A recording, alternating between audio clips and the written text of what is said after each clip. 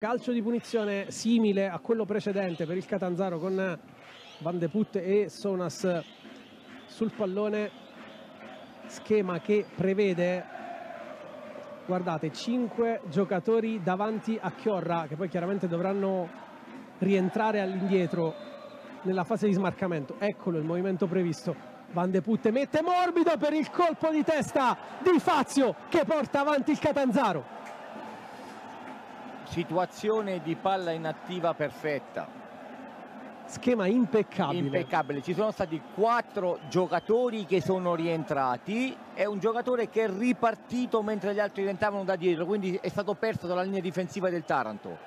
Grandissima situazione di palla inattiva Ecco, ti chiedo da allenatore come si marca su uno schema del genere? L'avevamo individuato perché era abbastanza chiaro, sono partiti tutti due metri più avanti, poi sono tornati indietro, hanno girato intorno alla difesa. È ripartito un giocatore che era fermo dentro mentre gli altri rientravano, quindi il giocatore che loro non avevano sotto controllo è ripartito da dietro. Dettagli che fanno la differenza.